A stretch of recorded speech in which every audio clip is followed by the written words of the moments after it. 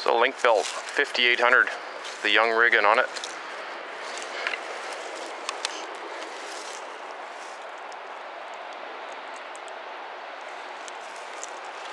Young always put their stick cylinder up instead of a traditional shovel logger, they put the stick on the top. I'm not going to say it's good or bad, but underneath would, you'd think it would make a little more sense, but it does have a big barrel on it. There's no cracks.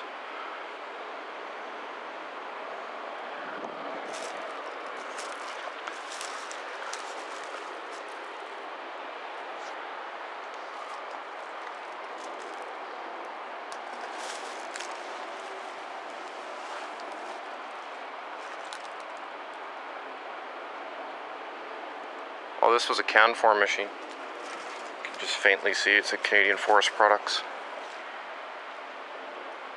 on the door.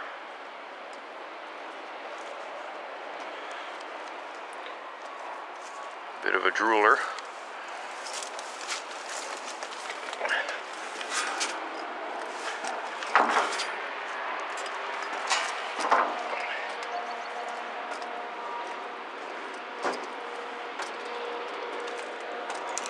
Isuzu.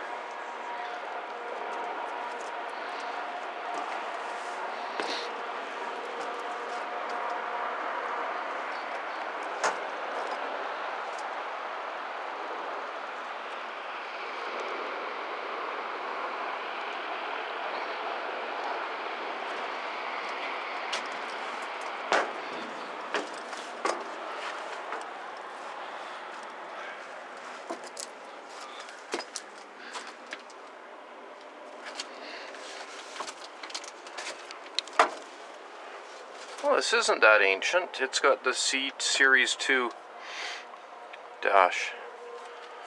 So this could be later 80s. It's probably a good old girl yet.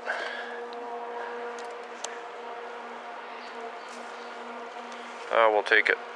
Find a home for it.